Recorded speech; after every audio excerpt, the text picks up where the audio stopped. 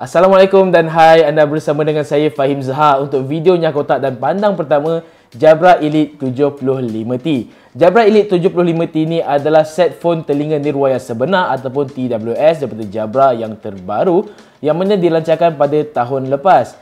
Hanya baru-baru ini sahaja ia dilancarkan di Malaysia secara rasmi dengan tanda harga RM949.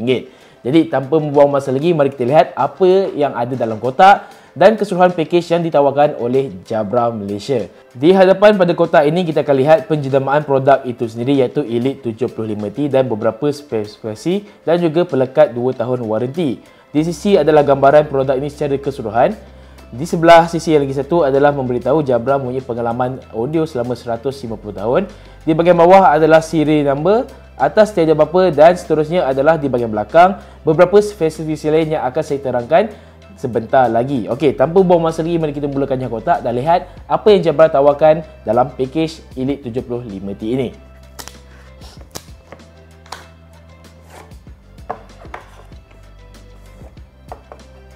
Buka saja kotak, kita akan ada satu kad jemputan daripada Jabra yang menjemput anda untuk terokai pengalaman audio Jabra Elite 75T ini. Dan ada juga arahan untuk membuat turun aplikasi Jabra Sound Plus di Play Store ataupun App Store untuk membuat tetapan yang tambahan pada set phone telinga ini.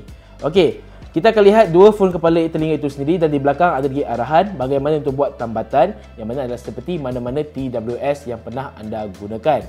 Okey, seterusnya kita ada kerangka ataupun port pengejasan Jabra Elite 75T itu sendiri. Membezakan Jabra Elite 75T ini dengan Jabra Elite 65T adalah pada port pengejasan yang mana Jabra kini menggunakan port USB-C berbanding dengan micro USB. Kemudian terdapat lampu LED di bahagian belakang.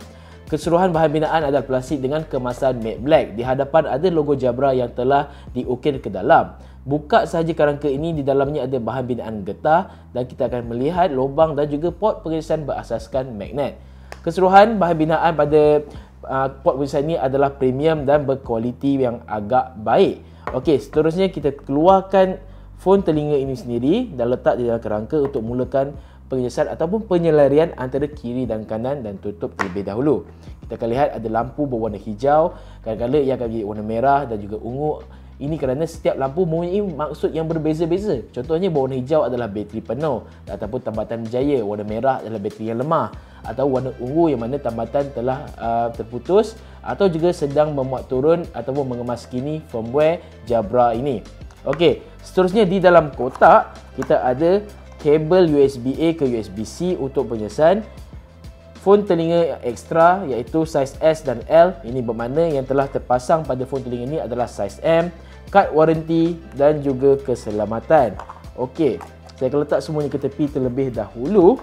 Untuk Jabra Elite 75T ini, Jabra lebih memfokuskan kepada rekaan dan juga keselesaan yang mana saiznya kini adalah lebih kecil berbanding dengan Jabra Elite 65T. Kemudian, ia juga adalah lebih cengkam dan lebih ringan berbanding produk mereka yang sebelum ini. Ini bermakna jika masuk ke dalam telinga seperti ini, ia lebih sukar untuk tertanggal dan adalah lebih selesa berbanding dengan Jabra Elite 65T. Kemudian terdapat perlindungan IP55. Ini bermakna ia sesuai untuk digunakan ketika berjoging ataupun bersukan yang ringan seperti di dalam gym atau jika terkena peluh ataupun percikan air ketika hujan.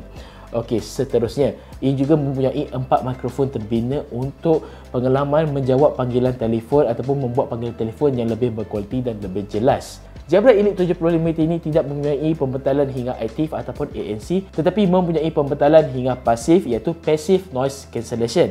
Okey, sekarang Jabra Elite 75T ini berada di dalam telinga saya dan apa yang saya cakap sekarang adalah kurang dengar kerana Passive Noise Cancellation yang digunakan pada Jabra Elite 75T ini adalah baik dan cukup berkualiti. Jabra Elite 75T ini hanya menyokong dua kodek iaitu SBC dan AAC. Jadi jika guna pada iPhone dia adalah lebih sesuai kerana iPhone hanya menyokong dua kodek itu sahaja.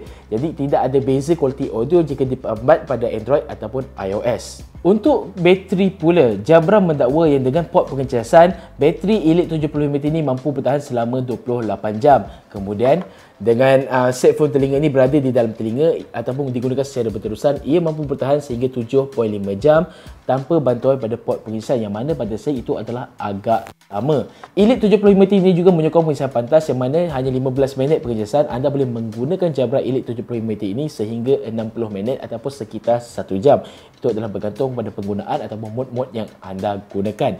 Okey, sekarang ni apabila ia berjaya tambat passive noise cancellation jadi sudah pun mula aktif kerana passive noise cancellation hanya menggunakan mikrofon sedikit dan segala-galanya adalah pada getah pada phone telinga itu. Okey, sekarang apabila saya tekan fungsi hear through ia akan menggunakan empat mikrofon tadi untuk mendengar bunyi ke sekeliling saya. Saya apabila saya ingin berbual dengan orang lain ataupun mengambil tahu apa yang berlaku di sekeliling saya itu adalah lebih sesuai kerana jika ada kecemasan ataupun sebagainya. Baiklah, sekarang saya akan cuba matikan headroom dan mulakan mainkan muzik untuk link.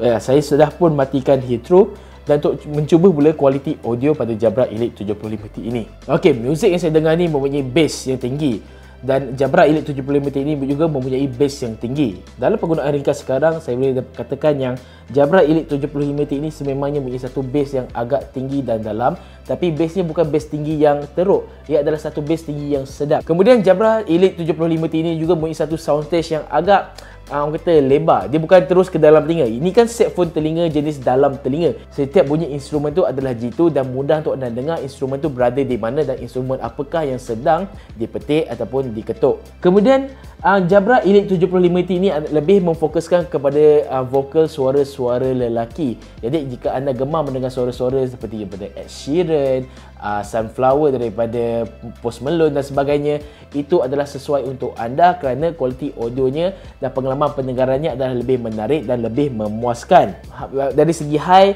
ia adalah baik-baik saja. Dari segi mid seperti saya katakan tadi, ia adalah natural ataupun semula jadi dan untuk low blow adalah bass yang mana adalah cukup dalam dan cukup baik. Jika anda tanya, eh bukan dah pernah uji Sony WF-1000 XM3 ke yang set phone telinga daripada Sony yang mempunyai ANC? Okey, jika anda gemarkan ANC iaitu pembatalan hingga aktif itu adalah yang terbaik.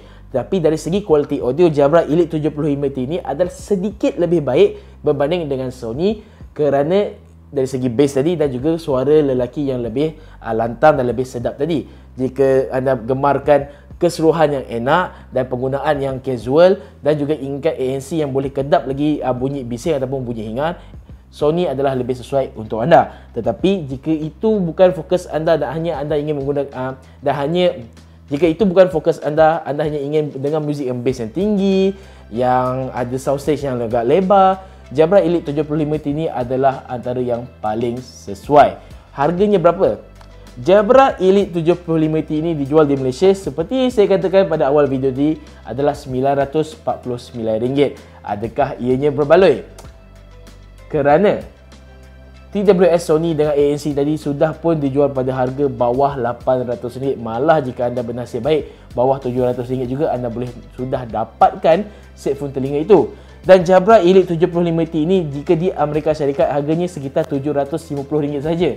Jika itu adalah harga yang Jabra Malaysia jual, ia mungkin berbaloi tapi RM900 ni pada pendapat peribadi saya, saya lebih saya akan memilih Sony daripada Jabra. Jadi itu adalah kotak dan pandang pertama terhadap Jabra Elite 75T daripada saya Fahim Zahar. Sehingga kita berjumpa lagi dalam video Amans akan datang. Assalamualaikum.